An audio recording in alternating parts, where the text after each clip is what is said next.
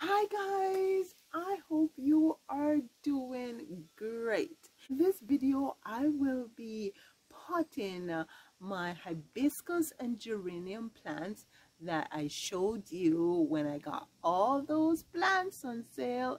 So before I repot them, this pot is for the hibiscus.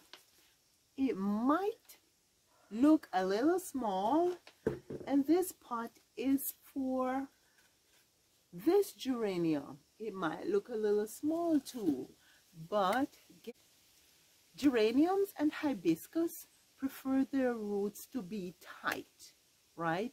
Therefore, when you take your geraniums and hibiscus home from the store, the suggestion is to plant them in pots that are just about one size up from the pots that they arrive in.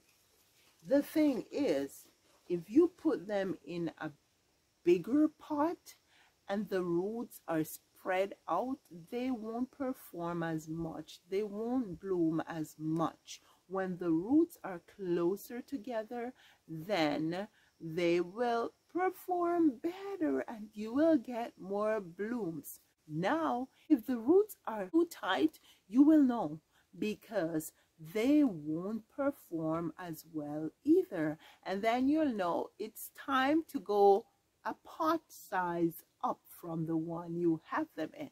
So I'm going to go ahead and start potting.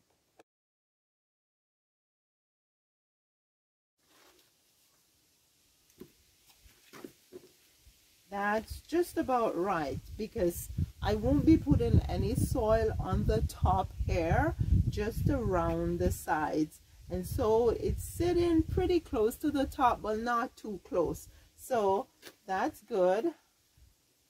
Usually when I'm um, repotting something, I will trouble the roots, right? So I can loosen them so they don't get root bound.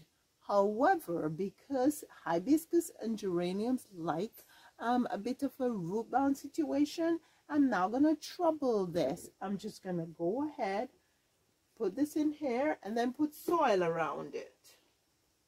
And I'll do the same for the geraniums.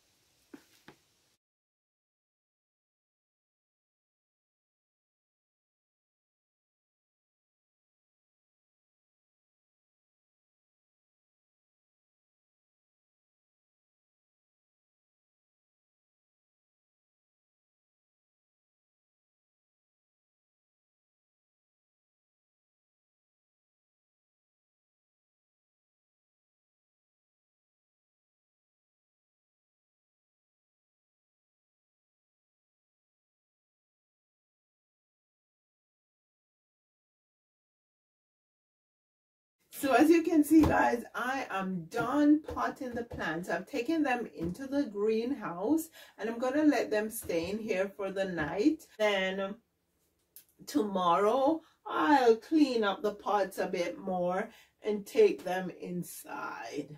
Thank you so much for watching the video guys. Thank you so much for subscribing. Please leave a comment below and let me know about your geraniums and hibiscus. Do you have a hibiscus? What color hibiscus do you have? I grew up back home in Jamaica with mostly red hibiscus. There was one that just had green leaves like this one and then there was one that had like a variegated green and white leaf. And believe me, I'm north of 50 and that plant is still there whenever I go home to visit. They're very hardy tropical plants. It's just a bit more difficult to take care of them indoors.